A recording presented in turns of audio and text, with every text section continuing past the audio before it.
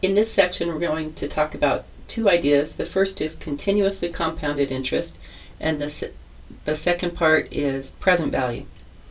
For continuously compounded interest, we want to take a look at what happens when the compoundings start to increase.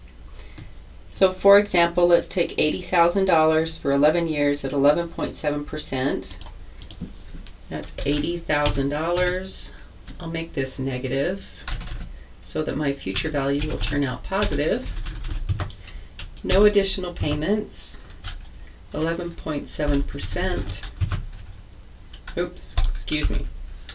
That's my Excel variable. I want the 11.7 to be in my annual rate. Then compounded annually would be once for 11 years. Okay, eventually I'm going to look at semi-annually, quarterly, monthly, so on. So I'm going to change this number of compoundings and I want to change only this first cell and have everything else update. So my interest rate will be my annual rate divided by whatever the compoundings turn out to be.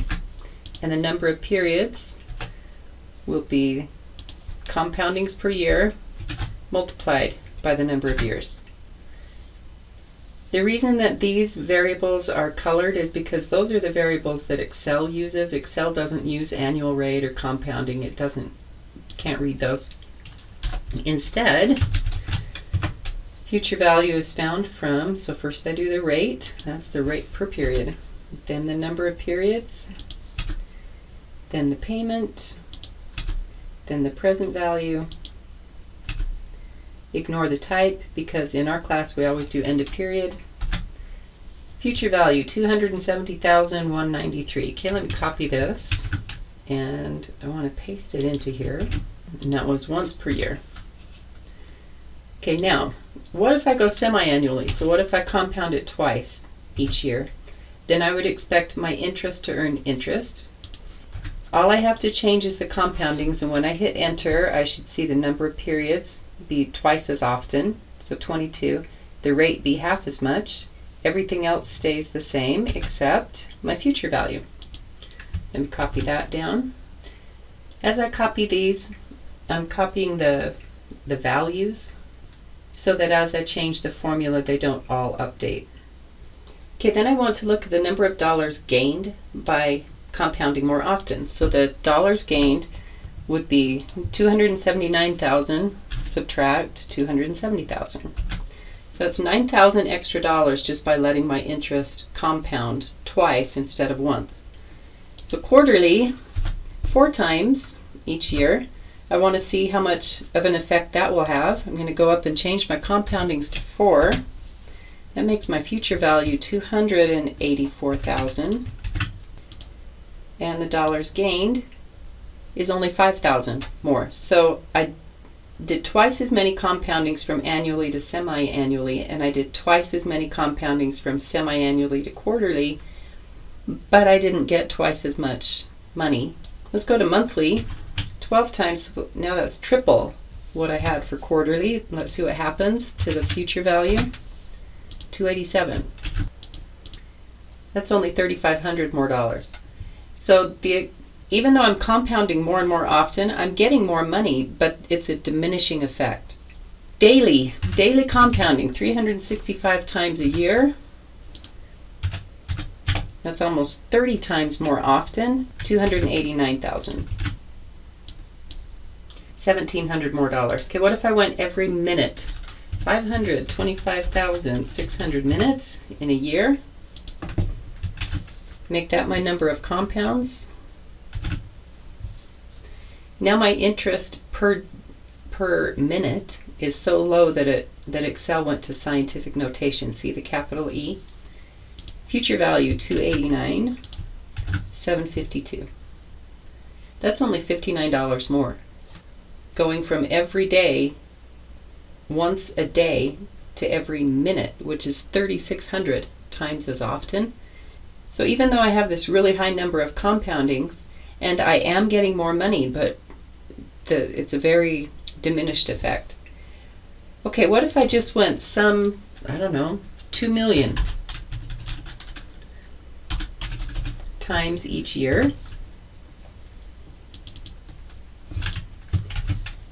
And have that be the number of compounds. 289, 752, 35. I went up by 3 cents.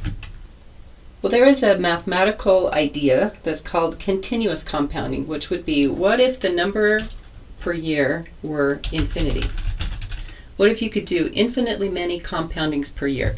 Now, I can't put infinity in as a number into Excel, but the mathematicians figured out that the future value is the present value times e raised to the RT. And usually this is written amount is principal ERT. It's called the PERT formula for obvious reasons.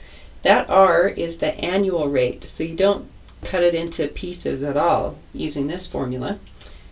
P, it would be 80,000 times E raised to the 11.7%, 11 years. Put that into your calculator and you will get 80,000 e to the 1.287, 80,000 times 3.62190. Okay, now I only do this so that you can check your calculations, make sure that you know how to get the E calculated correctly. 289,752, 36, 2, 2. Okay, that is the most that you can ever get from 80,000 for 11 years at 11.7% due to compounding. So it's never going to get to 37 cents, no matter how often you compound it.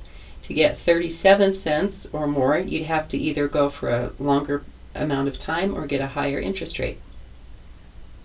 So when you do infinity compoundings, to get your future value, you change your formula to A equals P times E raised to the RT.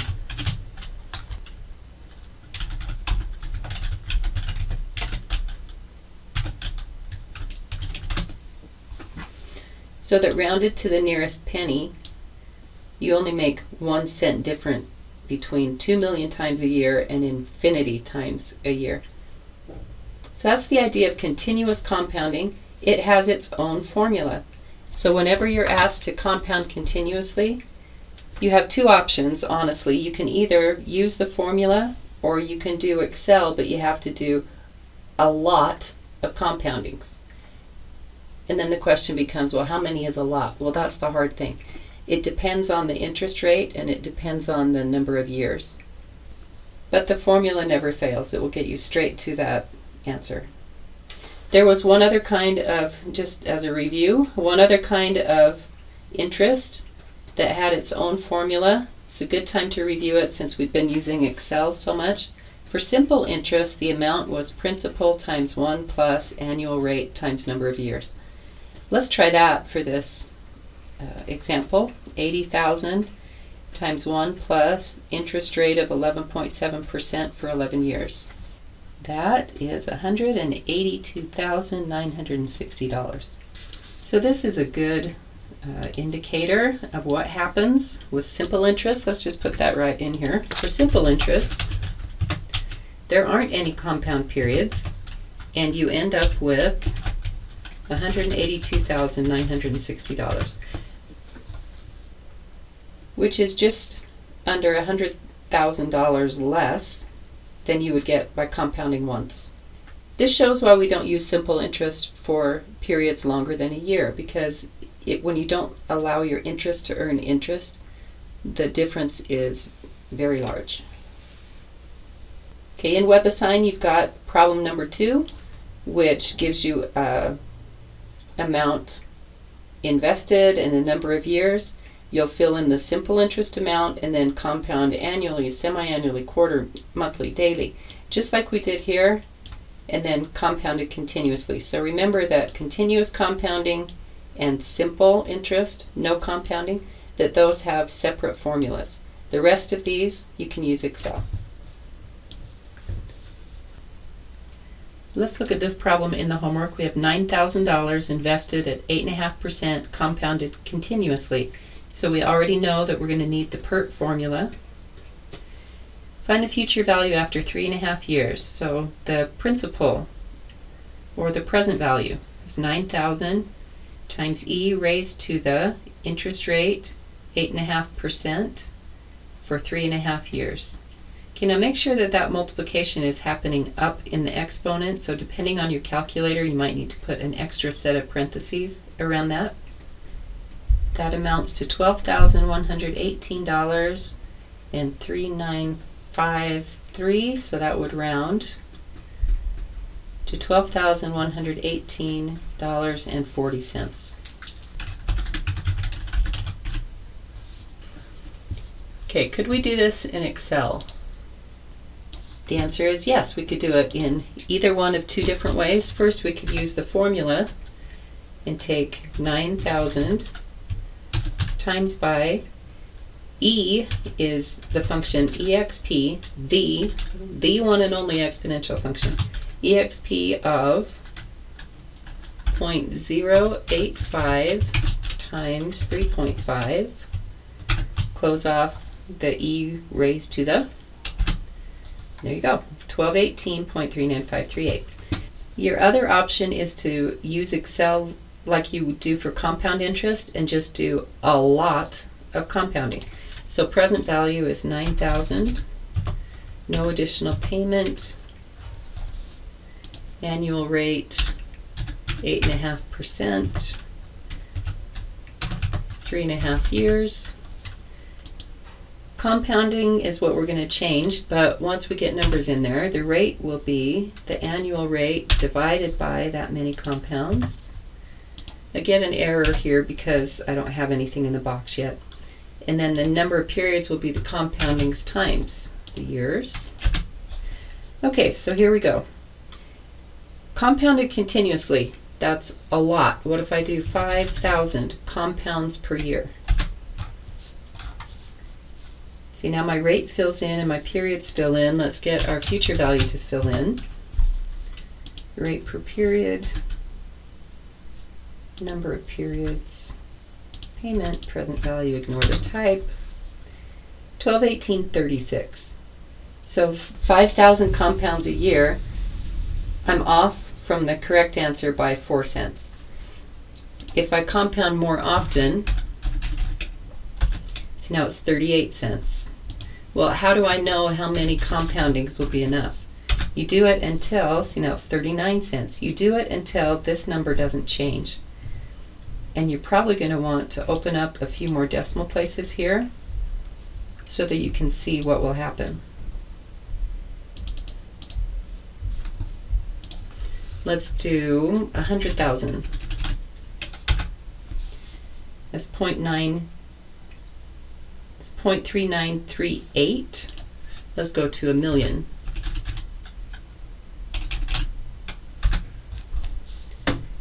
One one eight three nine five. So already this answer would round up to 40 cents. But if I didn't already know my correct answer, let's just do 30. Okay. 12,118.3956 so at this point, you would have to just take a leap of faith and say, I think that this number won't change anymore, and then you can type your answer in. If you say, I, if, if that doesn't feel secure enough, then you can put it into the PERT formula. So in the previous sections and in the discussion we just had, we're seeing that the compound effect is significant. $5,000 and 9.6% for one year. If it's compounded annually, that future value is 5480. But if it's compounded monthly, the future value is 5,501.6935. Okay, now what I want to do is take a look at what percent yield was that over the course of that one year. So to change it into a percent, I take the ending amount, 5480, and I divide it by the base amount, which is the beginning amount, 5,000, and this becomes, not surprisingly, 1.096, which means 9.6% interest was earned. However, by compounding monthly, I got a higher amount. So if I look at the percent yield now, 5501.6935, divide by 5,000, I get 1.1003387. When I interpret that, that's 110%. So the yield is actually 10.03387%. So due to the effect of compounding, the stated or nominal 9.6% acts like 10%, 10.03%.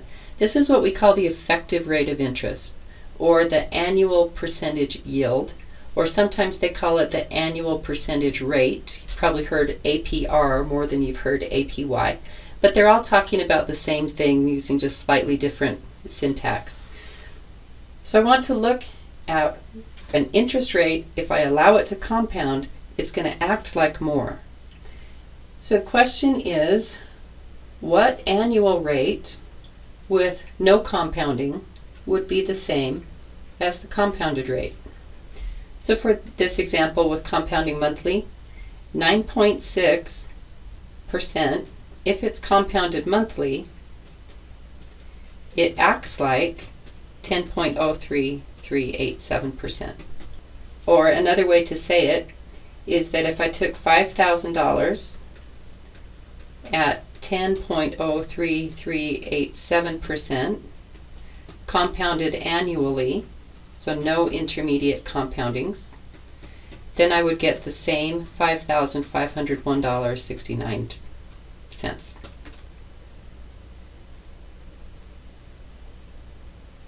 So you want to find the future value and divide it by the present value and then interpret the decimal that you get and figure out what the percent increase was. Okay, now, it turns out that the annual percentage yield, it doesn't depend on how much was invested. Instead, it only depends on the interest rate and how often it's allowed to compound. So let me show you how this works. Suppose that instead of investing $5,000, I invested $3,000, but it's still at 9.6% interest for one year, and I'm still going to compound annually. Well, now that will grow to $3,288.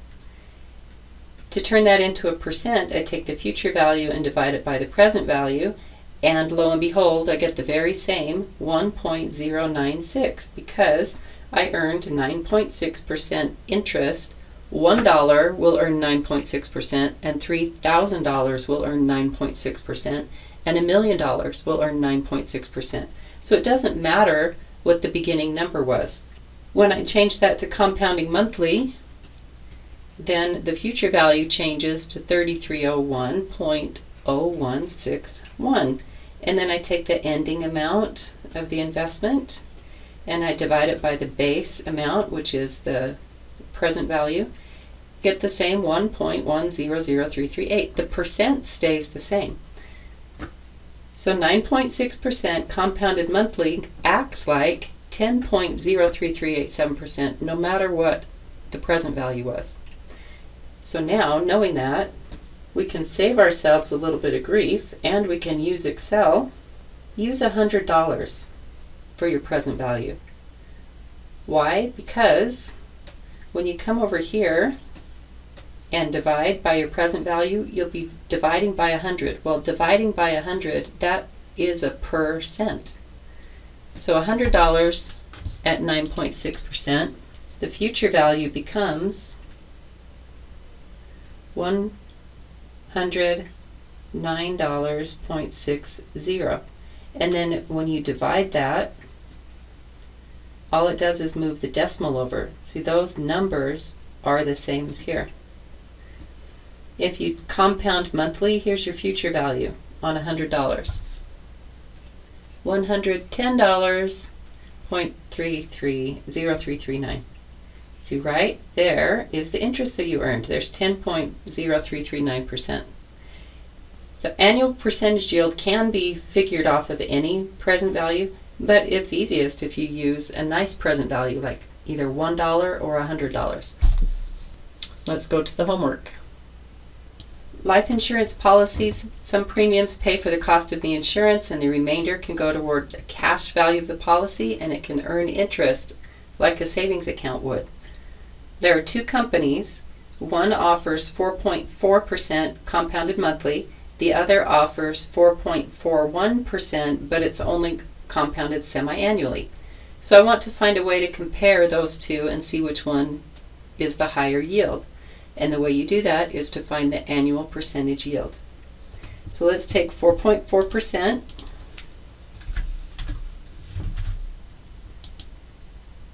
Compounded monthly. We're looking for an annual rate, so for one year.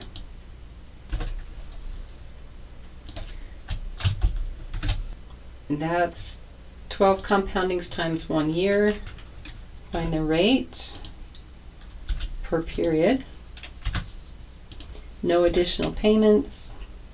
Present value, you can make it whatever you want. So I'm going to make it 100. I'm going to make it negative 100. That way my future value turns out positive. And then find the future value.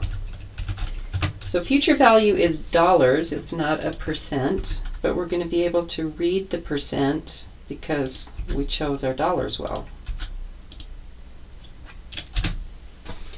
$100 grows to $104.4898. So what interest was earned? Well, it's pretty clear to see that $4.4898 out of 100 is what was earned. So the percent earned would be 4.49.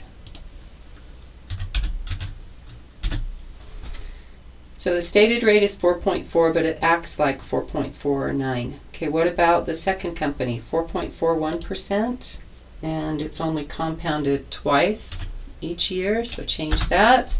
Everything else should update. 4.4586 on a base of 100. That's 4.46% when you round. So which company turned out to be higher? Company 1 did because the compounding made up for the slightly smaller stated rate. Let's try another one of these. Find the annual percentage yield for an investment at the following rates. So 7.8% is what's stated, but it compounds, so it's going to act like more than that. 7.8% compounded 12 times a year. We're always doing one year for an annual percentage yield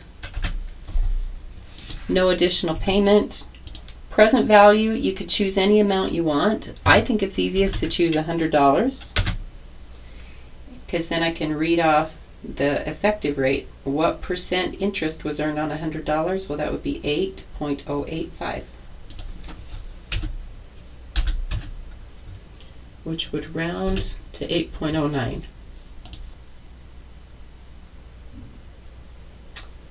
Well, let's take a look at that. Let me look at more uh, decimal places. Oh, I was rounding a rounded number. See, Excel rounded the 0.49 up to a 5, but looking at that full answer, that's true. It would be 8.08%, not 8.09. What about 5% if it's compounded continuously? So compounding continuously, I switch to a formula. My future value, or amount, is now principal e to the rt. My principal, I could choose any number. I'll choose 100. e raised to the 5%. Time is always one year with an APR. That gives me an answer of $105.12710. Again, that's a dollar amount, that's a future value, but to change it into a percent, you would divide it by 100, or you can say what percent interest was earned. Well, it was $5 and 0.127. That's dollars out of 100, 5.127, or rounded, 5.13.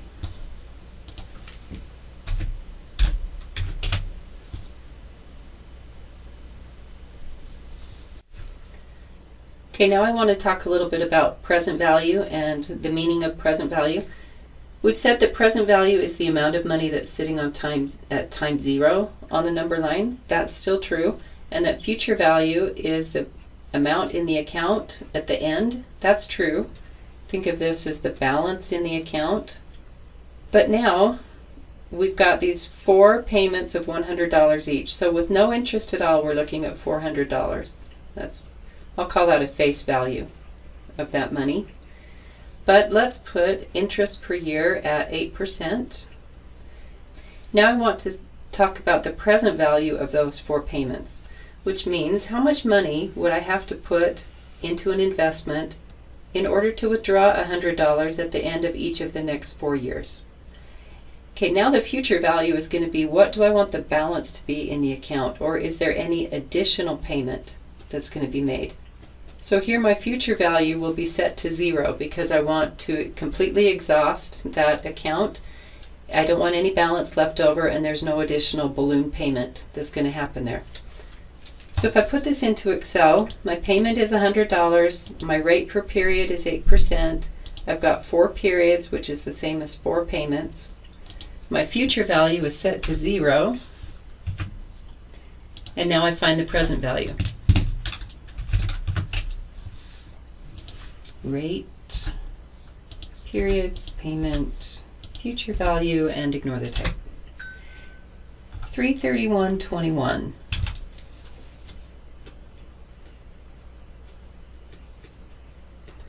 So $331 today is enough to fund four $100 withdrawals because the interest will make up the missing $69 in here. Okay, one time quickly, let me show you how this works.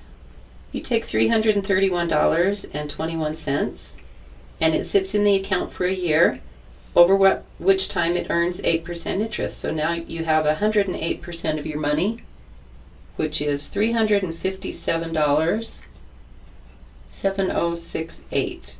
And then at the end of one year, you make a $100 withdrawal. So that payment happened. Now you have $257 left, and it earns money for the next year. So it will earn uh, 8% interest, so times it by 1.08, and you get 278.3233.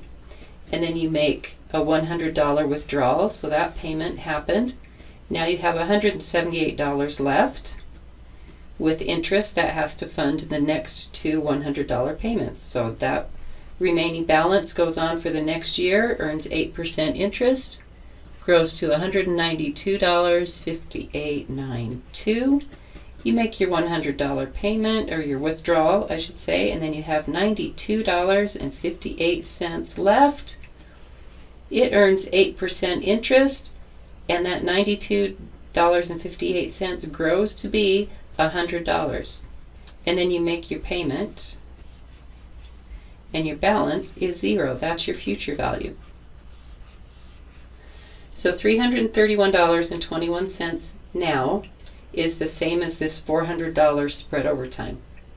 If we think of this in terms of a loan, if your loan amount is $331.21 and you get that money today, then you can pay it back in four easy payments of $100 each, and that means that you paid 8% interest. Let's look at some homework problems.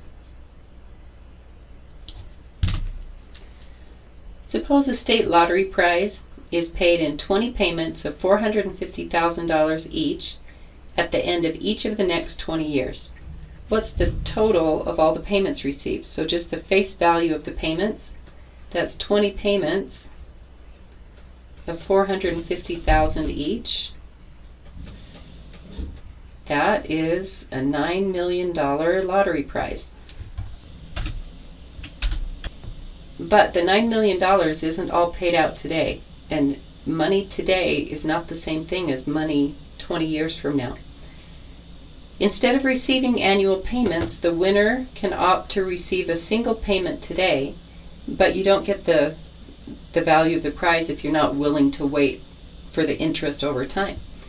Instead, you receive the present value of the prize. So find the amount of today's payment if the interest rate is 7%. Okay, this is what it this lottery prize looks like. Here's today. We're trying to figure out the amount we would get today. That's a present value. The payments of 450,000 come at the end of each year. So those are the equal sized payment amounts. They happen for 20 years. Is there any additional money besides that last payment that's going to happen on this last day? No. So the future value is zero.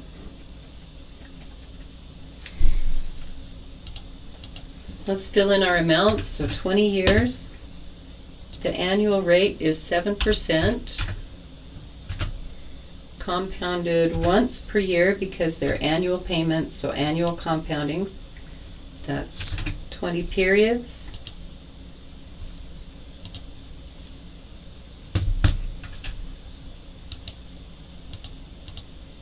There we go.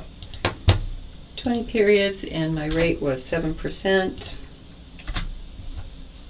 Payment of $450,000. I'm trying to find the present value. The future value will be nothing left in the account. Present value, rate, periods, payment, future value, ignore the type. Widen out the cells so you can see that you will take home today four million seven sixty-seven three oh six forty-one. So being willing to wait the 20 years to get all of your money made a difference of about $4.3 million to your payout. Now what if interest is 11%? Is that good for you or is it bad for you? In this case, it's bad because the present value is subtracting out the interest. So more interest will get taken out from here. Let's change our annual rate to 11, 11%. Now on the same $450,000 payments over 20 years, $3.5 million.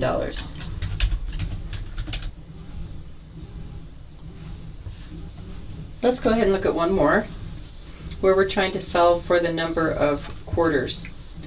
The personal account is earmarked as a retirement supplement and it has 342,000 but only 300,000 of it is going to be used to establish an annuity. So that's money that we're going to put into a fund today and turn it into payments over time. The annuity earns 6% and it's compounded quarterly. 6% compounded quarterly.